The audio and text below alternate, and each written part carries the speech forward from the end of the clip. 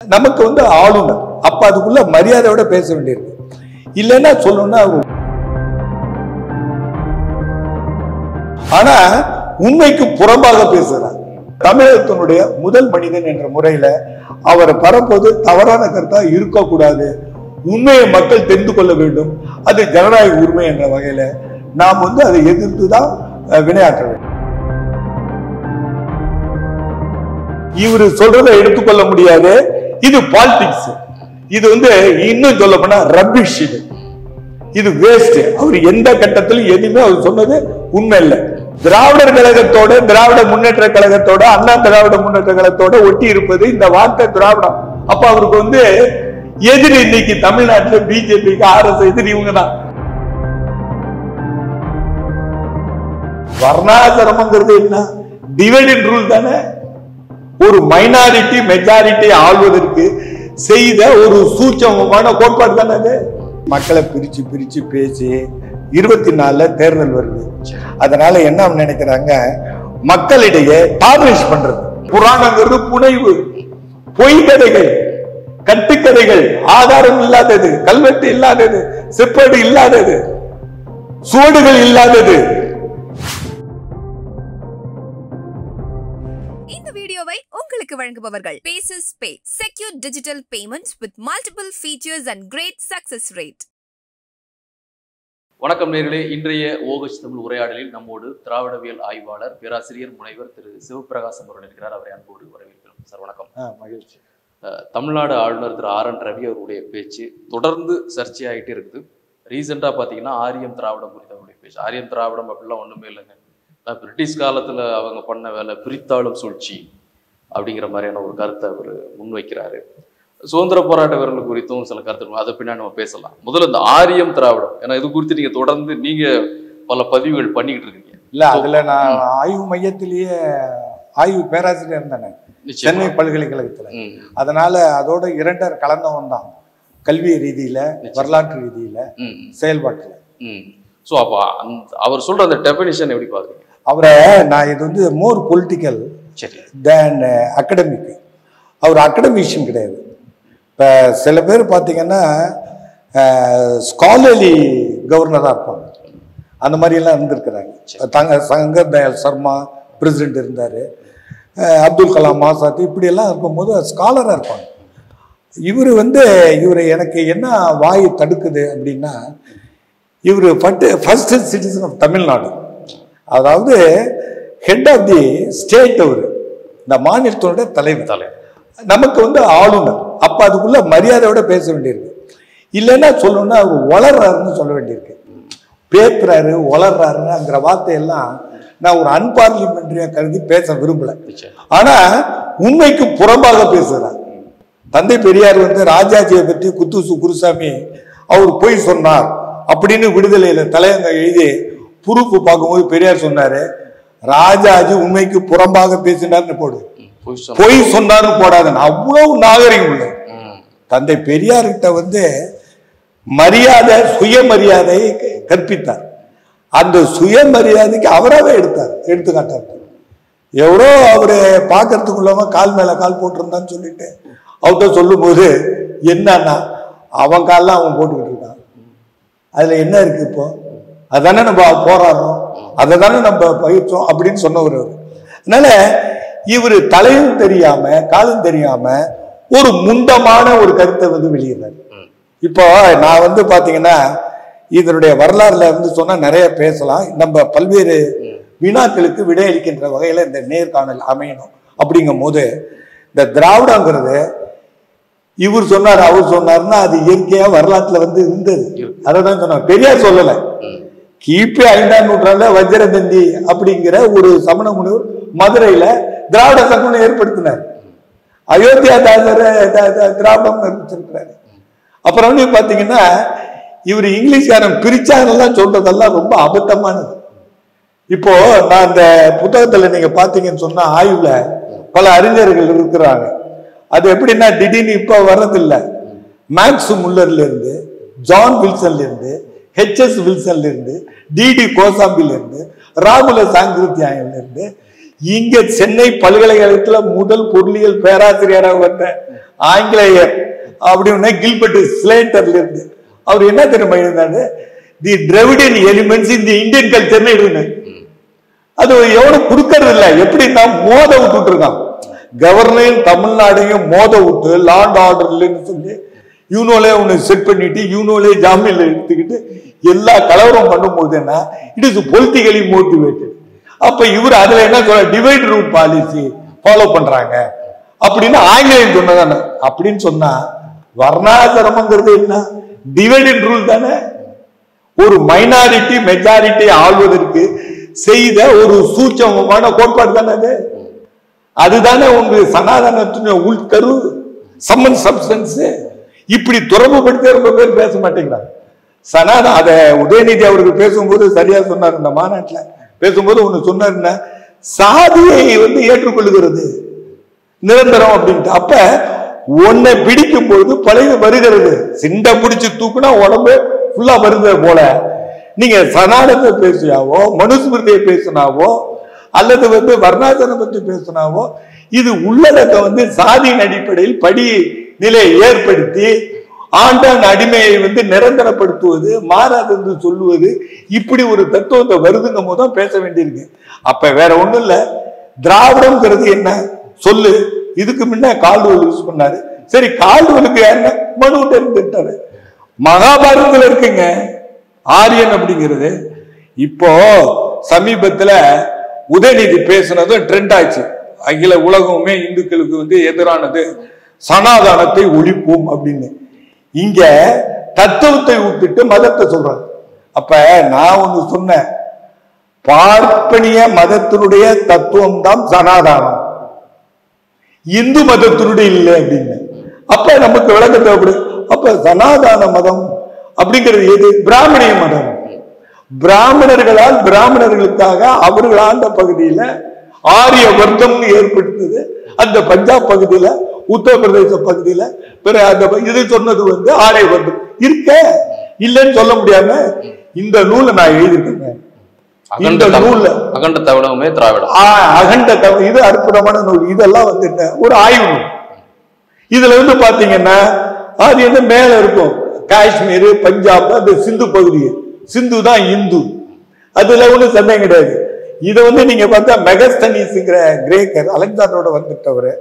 சந்திரகுப்த மௌரியர் அவையில இருக்கும்போது இந்தியான்னு எழுதினார்.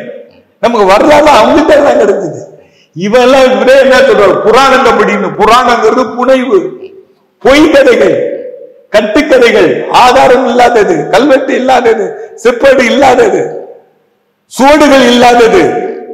இதை உளறிட்டு பொய்யும் இது உண்டு. பொய்யிலே பிறந்து பொய்யிலே வளர்ந்தவர்கள் சொல்லிட்டு ஏன்னா விழிப்புணர்ச்சி வருது அவேர்னஸ் ஒரு விதத்துல கூட என் மகளும் ஆங்கில துறையில ஆய்வாளர். அவங்க சொன்னாங்க இவரை நான் வந்து வரவேற்கிறேன் அப்படின்னாங்க. ஆர் என் ரவி ஏன்னா ஒரு விழிப்புணர்ச்சியை கொண்டுகிட்டு வர்றாரு இப்ப சனாதனா ஒரு டிபேட் போகுது. வர்ணாசமா ஒரு டிபேட் போகுது. ஆரியன்னா ஒண்ணு போகுது. அப்ப என்ன ஆயிடுது?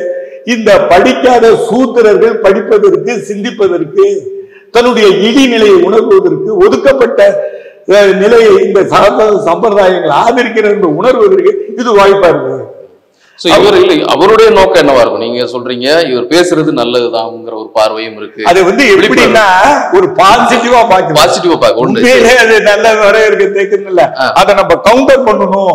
அதை படிச்சு சொல்லணும். பெரியார்ட்ட போய் இந்த குச்சாலர் மாதிரி இருபத்தேழு புள்ள பெத்த மாதிரி வருஷத்துக்கு ஒரு புள்ளைய பெற்றுக்கிட்டு புள்ள இன்னொரு புள்ள தூக்கி வச்சுட்டு இருக்க மாதிரி போய் அவன் போய் அவர்கிட்ட குச்சாலர் மாதிரி பெரியார்ட்ட போய் ரொம்ப கஷ்டமா இருக்குதுங்க ஐயா எனக்கு ஏதாவது உதவி பண்ணு என்ன அப்படின்னா பெரிய குடும்பஸ்தான்.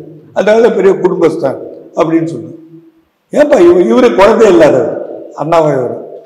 அதுக்காக குழந்தைய அவர் வெறுக்கலை ஒன்றும் இல்லை. அவர் சொன்னாரு சரி நீ குழந்தைய கட்டுப்படுத்தி இவ்வளோ குழந்தை பிறக்காத வறுமைக்கு காரணம் ஒன்று உன்னுடைய வருமானத்துக்கு அதிகமாக குழந்தை பெற்றுக்கிட்டீங்கன்னா கஷ்டம் தானே இல்லை சார் இதை இல்லை இல்லை ஐயா இது ஆண்டவன் கொடுத்தது. ஏண்டா புள்ள பெக்கிறத பொறுமையும் ஆண்டவன் விட்டியா அது ஒண்ணுதான் ஒண்ணுகிட்ட இருந்தது. புள்ள பெக்கிறதையும் விட்டுட்டியடா. அது ஆண்டவன் செயல்னு சொல்றியடா. உன் செயலை விட்டுட்டுன்னு சொன்னார். அது போல கேள்வி கேட்கும் போது அதை வந்து பதில் வருது உங்களுக்கு. அது வந்து ஒரு விழிப்புணர்வு வருது. அப்ப சிந்திக்க தோணுது. இன்னொருத்துக்கு ஏனியும் தோணியும் ஆகாமல் உங்களை நீங்க பாதுகா அதுக்குதான் என்ன சொல்றது அப்படின்னா two thousand five hundred years of Buddhism வந்து சென்ட்ரல் கவர்மெண்ட்ல வெளியிட்டாங்க.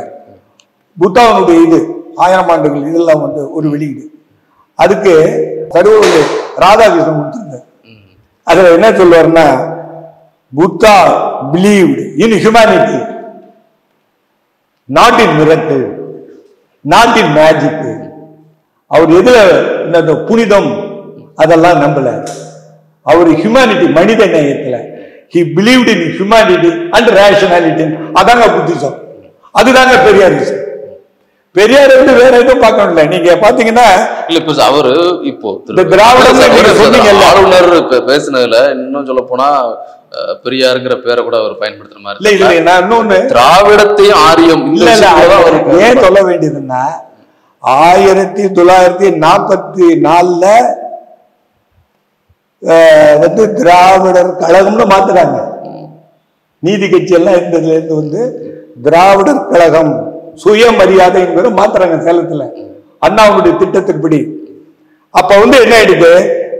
திராவிடர் கழகத்தோட திராவிட முன்னேற்ற கழகத்தோட அண்ணா திராவிட முன்னேற்ற கழகத்தோட ஒட்டி இருப்பது இந்த வார்த்தை திராவிடம். அப்ப அவருக்கு வந்து எதிரி இன்னைக்கு தமிழ்நாட்டுல பிஜேபிக்கு ஆர்எஸ் எதிரி இவங்க தான் தத்துவார்த்தமா? கட்சியிலே ஆமா இது வந்து கட்சி அந்த தத்துவம் தனியா திராவிடம்னா கண்டுக்க மாட்டாங்க. ஏன்னு கேட்டீங்கன்னா சங்கராச்சாரியாரே திருஞான சம்பந்தம் திராவிட சிசுன்னாரு. நாலாவது திவ்ய பந்தத்துக்கு திராவிட வேதம்னு பேரு. இதெல்லாம் இருக்கு. தென்னாட்டை வந்து திராவிடம்னு சொல்லி திராவிட பிராமணர்கள்னு உண்டு. அப்படிங்கலாம் நம்ம திராவிடம்லாம் சொல்லுவாங்க. அதெல்லாம் முக்கியம் இல்ல இப்ப நான் சொன்னது மாதிரி கில்பில்ட் ஸ்லேட்டர் அவங்களாம் உண்டு இதை விட இன்னொன்னு நீங்க சொல்லும் போது ஒண்ணு சொன்னீங்க. ராபர்ட் கால்டுவெல் வந்து ஒண்ணும் படிக்கல. ஒண்ணும் தெரியலன்னு. ஆளுநர்களை பத்தி அவர் அவரு அவருடைய நோக்கம் வந்து வேற. மத பரப்புவதற்காக வந்தவர். வந்தார். அது உண்மைதான். ஆனா மதம் பரப்புனாங்களா பார்த்தா தீட்டு காண தகாதவர் என்ற நாடார்களுக்கு கல்வி போச்சு. திருநெல்வேலி மாவட்டத்திலையும் தென் மாவட்டத்திலையும் இன்னைக்கு அவர்கள் மிக உயர்ந்த நிலைக்கு இன்னைக்கு சிவனால அளவுக்கு வரதுக்கு கால அடித்தளம் போட்டவர் அவர்தான். அவருக்கு இருப்பையும் கல்வியும் கொடுத்து இந்து நாடார்கள்லாம் வியாபாரியா இருப்பான். கிறிஸ்தன் நாடாளர்கள்லாம் கல்வியில சிறந்தவர்களா இருப்பான். எம்எஸ் நாடார்னு சொல்லி ஷேக்ஸ்பியர்ல வந்து நான் ஸ்டூடெண்டா இருக்கும் பேசுறோம் அப்போ அற்புதமா பேசுவார். காவேரி டியூட்டர் காலேஜ்னு திருச்சியில வச்சிருந்தோம் அவ்வளவு அற்புதமா பேசுவார். அதனால கல்வியை கொண்டு போய் இவன் இவங்க என்ன பண்ணிருந்தான்? மனுஸ்மிருதில இல்ல சார் அவரு சூத்திரனுக்கு எது வேண்டாலும் கூட. காலண்டுகள் எழுதுனது பேசுனதை வச்செல்லாம் வச்சு அது ஒரு ஆய்வா வச்சுலாம் அதை பேசக்கூடாதுங்கிற மாதிரி இல்ல இல்ல. ஏன்னு கேட்டீங்கன்னா அது அது ஒரு ஆதாரம் இல்லைங்கிற மாதிரி சொல்றாங்க. எது ஆதாரம் இல்லைன்னு ராபர்ட் கால்வெல் விஷயம். அதுதான் வந்து இதை என்ன சொல்றது? சர்வ முட்டாள்தனம்னு சொல்லணும் அதுதான் சொல்ல ஃபூலிஷ்னஸ் எது நீங்க தெரியாம இருக்கலாம். ஆதாரத்தை காட்டினா படிக்க மாட்டேன் இது பொய் இந்த தப்பு. நீங்களே கால்வெல் பத்தி ஒரு புத்தகம் எழுதிருக்கீங்க ஆமா நான் அதுதான் வந்து ம். ரோசையா அவர்கள் இதே ஆளுநர் மாளிகையில. அவரை சந்திச்சு இந்த போட்டோ எல்லாம் இருக்குங்க. அதாவது பை சென்டினரி. இரண்டாவது நூற்றாண்டு விழாவை கொண்டாடுவதற்கு அவரு ரோசை அவர்கள் வந்தார். வந்து இது வந்து ஸ்டெல்லா மேரிஸ் காலேஜில் பேசணும் பேசணும்போது இந்த இருக்குங்க இந்த இதுல நீங்க பாத்தீங்கன்னா. ரோசை அவர்களுடைய இது. அப்ப நான் வந்து ஆங்கிலத்துல பேசினேங்க. சிவகடாட்சம் என்பவர் தான் ஸ்பெஷல் அட்ரஸ் சிறப்புரை. ஆனா அவரு வரல. மருத்துவரை என்னமோ அவருக்கு வேலை பணி இருந்தானா வர முடியல. நான் எழுதி கொடுத்தது கவர்னருக்கே எழுதி நாலு பேர் கொடுத்தோம் என்னதான் ஏற்றுக்கொண்டாங்க.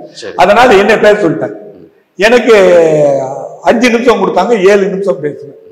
அதுல என்ன சொல்ல வந்தேன் அப்படின்னா இவர் இங்க தமிழ் ஆராய்ச்சி செய்வோம் ஒப்பாயி செய்வோம் எல்லாம் வரல அவரு. அவர் சொன்னது ரைட்டு. மத பிரச்சாரத்துக்கு தான். ஜியு போப்பு அதுக்கு தான் வந்தாரு. அஹ் வீரமா முனிவர் அதுக்கு தான் வந்தாரு. ஃபாதர் இராஸ் அதுக்கு தான் வந்தாங்க. அவங்க என்ன சும்மா இங்க வந்து சுத்தி போட்டு டூரிஸ்ட் அவங்க? ரோம்ல இருந்து அங்க இருந்து இங்கிலாந்துல இருந்து வர்றாங்கன்னா பர்பஸ் தான் வந்தான். நீ என்ன பண்ண?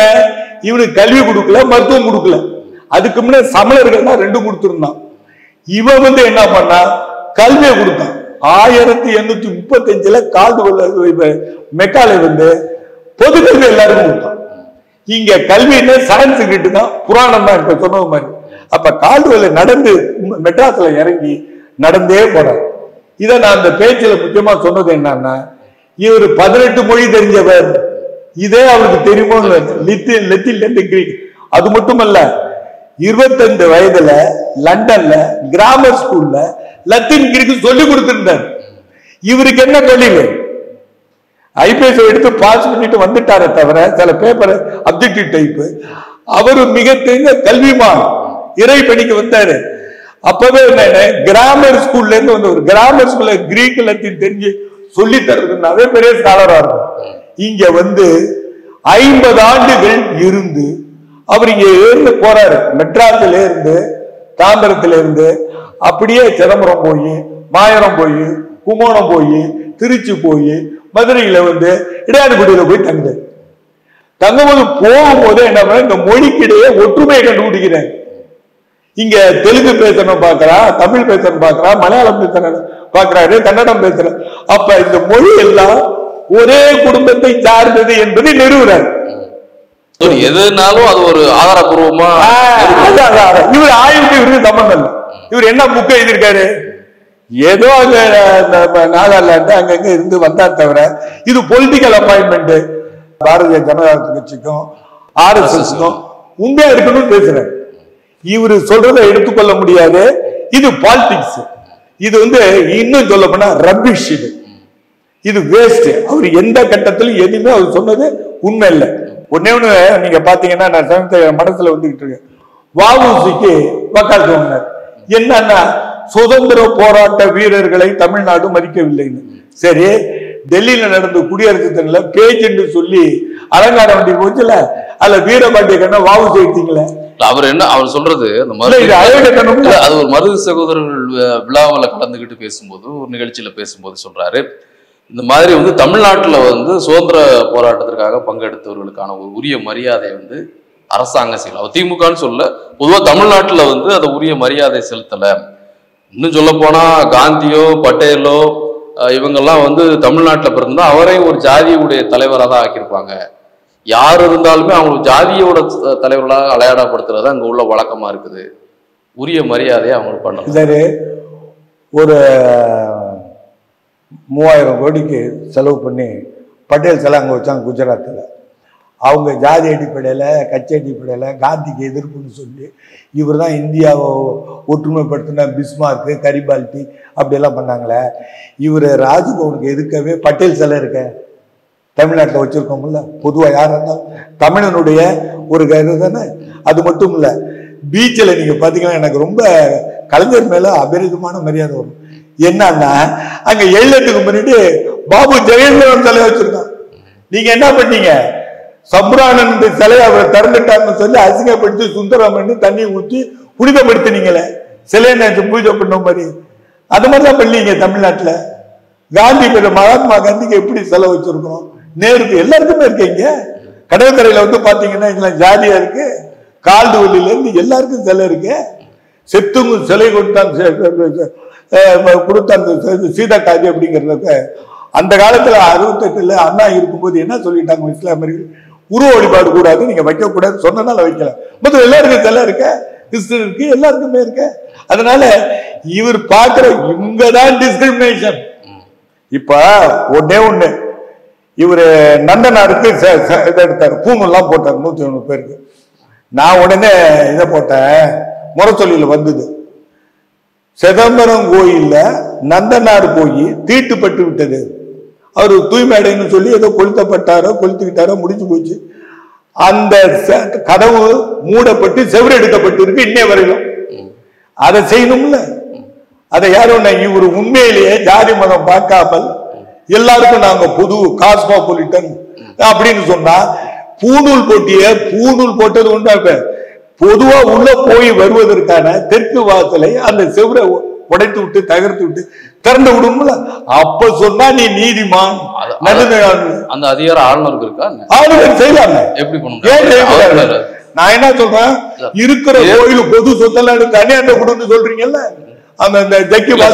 ஒரு ஒரு கருத்தை சொல்றதுக்கும் ஒரு இதை இம்ப்ளிமெண்ட் பண்றதுக்கும் வித்தியாசம் இல்ல இல்ல அதான். தேர்ந்தெடுக்கப்பட்ட ஒரு அரசாங்கம் அது ஒண்ணும் இல்ல ஒண்ணும் இல்ல இவர் செய்த வேலை அரசு நினைத்தால் செய்யலாம். மீறி ஒண்ணு செய்யறாரு நான் எடுத்து சொல்றேன் எப்படி செய்யறாருன்னு இவருக்கு வேணும்னா ஒண்ணு செய்யறாரு இல்லைன்னு. இப்ப 49 பேர் இன்னைக்கு ஒரு போராட்டம் நடக்குது. தமிழ்நாடு முஸ்லிம் முன்னேற்ற கழகத்தை ஆளுநர் மாளிகை முன்னிட்டு நடத்துறாங்க. என்ன நடத்துறாங்க? 49 பேரை வெளியிடுங்க. எந்த இதெல்லாம் நல்ல பின்னணி இருக்கு.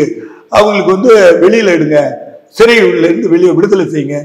தமிழக அரசு கொடுத்தாலும் கையெழுத்து போடல அது உனக்கு அதிகாரம் இல்லை அப்படி அப்படி செய்யல வேணா கேபினெட்ல கொடுத்தா நீங்க போடணும். போடல. அடுத்தது ஐடி சைலேந்திர பாபுவை சர்வீஸ் கமிஷன் சேர்மனா போட்டு கையில போடலையா? அப்ப உன் இஷ்டத்துக்கு வந்து போட்டு வச்சிருக்கீங்களே? கிடப்புல போட்டீங்களே? அப்ப அதிகாரம் அதே மாதிரி இதை செய்ய. சிதம்பரத்துல வந்து என்னன்னா இது தப்பு அன்டச்சபிலிட்டி இது வந்து இந்த ப்ரிவென்ஷன் ஆஃப் குரியல்டி அப்படிங்கிறது வந்து எகென்ஸ்ட் அன்டச்சபிள்ஸ் அப்ப நந்தனார் எதை வச்சு கொண்டாடுற பூணூல் எதுக்கு உனக்கு பூணூல் போடுறதுக்கு அதிகாரம் உண்டா? பூணல் போடுறது உனக்கு அதிகாரம் கிடையாது. பூணல் போட முடியாது. பூனுக்கு வந்து வேத சாஸ்திரம்லாம் இருக்கு. இன்னும் தான் போடணும். கல்யாணம் ஆவாதவனுக்கு ஒண்ணு கல்யாணம் ஆனவனுக்கு ஒண்ணு குழந்தை பிறந்தா ஒண்ணு வயதானவனுக்கு ஒண்ணு. பூணூலை பத்தி எனக்கு நல்லா தெரியும். அப்ப வந்து உபநயம் எல்லாம் பண்ணாம இதெல்லாம் பண்றது என்ன? பாரதியார் தான் போட்டாரு. கனகலிங்கத்துக்கு போட்டாரு. இதெல்லாம் சும்மா திருநாள் சிப்பாய் மாதிரி அன்னைக்கு வேஷம் போட்டுட்டு இந்த என்எஸ்ன்னு ஒருவன் உள்ள அந்த மாதிரி அன்னைக்கு போலீஸ் போல எல்லாம் போனா போலீஸ் அவன் உண்மையான போலீஸ் அவன் அது மாதிரி அன்னைக்கு பூணூல் போட்டு விட்டா அது இதான் ஜாதி என்னன்னு கேட்கலாம் இந்த விஷயத்தை எதுக்கு இதுவும் சுதந்திர போராட்டம்? அந்த விழா அப்படிங்கறதுனால அதை பேசுறாரா? இல்ல அதுக்குள்ள ஏதாவது ஒரு மறைமுக திட்டம் இருக்கா? சுதந்திர போராட்டம் பல விதத்துல பிரிச்சு மக்களை பிரிச்சு பிரிச்சு பேசி இருபத்தி நாலுல தேர்தல் வருது. அதனால என்ன நினைக்கிறாங்க? மக்களிடையே டார்னிஷ் பண்றது. இப்ப நீங்க முக்கியமா ஒண்ணு கவனிக்கணும். கபில் சிபல் சுப்ரீம் கோர்ட்ல பேசுனது எப்படின்னா இந்த அமலாக்கத்துறை வந்து போட்ட அதுல முக்கியமா என்னங்க இந்த தடா பொடா மாதிரி. எப்படின்னா நான் சண்டை போட்டா உனக்கு கொண்டு போய் உள்ள வச்சிடலாம். வச்சுட்டு காரணம் சொல்லணும்ல. நீங்க எங்கன்னு கேட்கலாம். ஐயோ என்னை ஏன் அரெஸ்ட் பண்ணாங்க? இன்னும் காரணம் கிடையாது. அது ஜெயிலும் போடலாம் கடிதம் ஆனா நீங்க ஜாமீன் எடுக்கணும்னா போய் ஓடு சொல்லணும். அதான் கபில் சிபல் ஏழு பாயிண்ட் வச்சார். என்ன வச்சாருன்னா இந்த என்போர்ஸ்மெண்ட் டைரக்டருக்கு அரெஸ்ட் பண்றதுக்கெல்லாம் உரிமை உண்டு. கஸ்டடியில் இருக்க உரிமை உண்டுலாம் நீங்க சொல்லிட்டீங்க. சரி முதல் இது வந்து அரசு பண்ணப்பட்டவனை எதனால வந்து அவனை கைது செய்யப்பட்டான் என்ற விளக்கம் காரணம் கொடுக்கணும். ஒண்ணு அது இவங்க கொடுக்கறதில்ல. ரெண்டாவது ரொம்ப முக்கியம். அவன் சிறையில இருக்கான் ஜாமீன்ல போலான்னா அவன் வக்கீல் வச்சு வாதாடணும். வக்கீல் வச்சு வாதாடினா தான் செய்த குற்றம் என்னன்னு தெரிஞ்சாங்கன்னா தான் வக்கீல் வந்து வாதாடுவான்? அப்ப நீங்க குற்றப்பத்திரிக்கை கொடுக்கணும். அவங்க ரிட்டர்ன்ல நீ என்னென்ன மிஸ்டேக் பண்ணிருக்க தேச துரோகம் பண்ணிருக்க என்ன? ஏதோ ஒண்ணு. கொடுத்தாதான் தான் வக்கீல் வந்து அதை வச்சு போராடணும். நான் என்ன குற்றம் செய்தேன் என்று தெரியாமல் எனக்கு அதிகாரபூர்வமா அறிவிக்கப்படாமல் நான் எப்படி வந்து வக்கீல் வச்சு வாதாட முடியும்னு கேட்கும்போது அலர்ட் ஆயிட்டாங்க. ஐந்து பேர் அடங்கிய பெஞ்சு சுப்ரீம் கோர்ட்ல இருந்து இப்ப இவன் ஏழு வந்து கபில் சிபல் அட்டகாசமா கொடுத்துட்டாரு என்பது இப்ப என்ன பண்ணிட்டான் சரி இவங்க சொல்லலாம் சில இதெல்லாம் நீ அறிக்கை கொடுக்கணும்னு. அவன் என்ன பண்ணிட்டான்? துஷா மேத்தா வந்துட்டு ஐஜி வந்து என்ன பண்ணிட்டான் அப்படின்னா அட்டார்னி ஜெனரல் அவன் வந்து எங்களுக்கு ரெண்டு மாசம் கொடுங்க. என்ன தேர்தல் வருது? அது வரையிலும் என்னென்ன கொஞ்சம் குண்டூரும் கோயிலும் இருக்கணும் பண்ணி எல்லாம் நாச- நாசம் அடிச்சு ஆதாரம் இருக்க இல்லாதெல்லாம் பண்ணி இது வந்து எனக்கு என்ன ஞாபகம்னா ஆயிரத்தி தொள்ளாயிரத்தி பத்தொன்பதுல ஜெனரல் டயர் பீரியட்ல நிறைவா உங்கள்கிட்ட கேட்க வரும்போது இப்போ தொடர்ந்து இது போன்ற ஆளுநர் பேசி வரும்பொழுது இந்த பேச்சுக்கு உங்களுடைய பார்வையில இது மாதிரி எதிர்வினை ஆற்றணுமா? இல்ல மௌனமா அவர் இப்படிதாங்க பேசுவார் சொல்லி கடந்து போகணுமா? இப்ப வந்து நான் பாக்குறேன் திராவிட கழகத்திலையும் சரி திமுகவிலையும் அண்ணா காலம் வரையிலும் மிகச்சிறந்த பேச்சாளர்கள் இப்ப இல்லைங்க. இப்ப எப்படின்னா பேசுறவங்களே பேசிட்டு இருக்கிறாங்க ஆழமான படிப்பு அவங்க கட்சிக்குள்ள பிரச்சனை நம்ம அந்த அந்த தரப்புல இருந்து எதிர்வினை ஆற்றணுமா அவங்க? பதில் சொல்லணுமா? ஆமா பதில் சொல்லி இது பேசிட்டு இருக்காருங்க அவர் பேசிட்டு. உங்க கேள்வியை கலைஞரே சொல்லியிருக்காரு. எப்படின்னு சொன்னா தம்பிக்கு கடிதம்லாம் எழுதுறது எதனால அப்படின்னா உடன்பிறப்புக்கு. ஏதாவது ஒரு கேள்வி கேட்டு ஐயம் வெளியில வந்ததுன்னா அதை கிளியர் பண்ண வேண்டியது கட்சியினுடைய தலைவர்களுடைய விளம்பரதாரர்களுடைய கடமை அது. இல்லைன்னா அது உண்மைன்னு நினைச்சுக்குவாங்க இப்ப திராவிட ஆரியங்கிறது பொய் பித்தலாட்டம் அப்படின்னு சொன்னா நமக்கு எல்லாத்துலயுமே உதாரணம் இருக்கு. அப்ப சர்வ கலாசாலை காசியில போட்ட போர்ட் ஆஃப் ஸ்டடீஸ்ல வெளியிட்ட ஆரியவாட தர்ம சனாதன தர்மாங்கிறது பொய்யா? அதனால என்ன இது பேர்த்தல் உளறல் இது வந்து என்னன்னா ஒரு ஆளுநரா இருப்பவர் இந்த மாதிரி கண்டபடி பேசக்கூடாது. அப்படிங்கறத நம்முடைய கருத்து. அதனால எதிர்வினை ஆற்றணும் எல்லாத்துக்குமே. ஏன்னா நாம் வந்து அவர் பேச மாதிரி பேசாமல் ஆதாரத்துடன் தக்க சான்றுகளோடு. அது பேசணும் ஏன்னா அவருடைய இந்த பதவிக்காக மற்றவங்க பேசுனா எப்படி வேணாலும் பேசலாம். ஒரு ஆளுநர் என்பது நம்ம தமிழகத்தினுடைய முதல் மனிதன் என்ற முறையில அவரை பரப்போது தவறான கருத்தா இருக்கக்கூடாது. உண்மையை மக்கள் தெரிந்து கொள்ள வேண்டும். அது ஜனநாயக உரிமை என்ற வகையில நாம் வந்து அதை எதிர்த்து தான் வினையாற்ற வேண்டும். இந்த வீடியோ உங்களுக்கு பிடிச்சிருந்தா லைக் பண்ணுங்க ஷேர் பண்ணுங்க கமெண்ட் பண்ணுங்க. மறக்காம ஓஎச் தமிழ் சேனலுக்கு சப்ஸ்கிரைப் பண்ணுங்க.